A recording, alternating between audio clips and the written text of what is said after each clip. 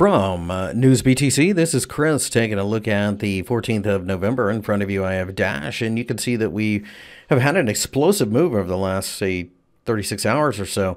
Uh, but on Monday, we've drifted a little bit lower. I think that given enough time, we'll probably look to 350 where the real support will return. So I think that uh, short term buying uh, is probably all but impossible. Um, I think waiting for a supportive candle, some type of um, rally, a bounce, anything really at this point, I think is uh, probably best.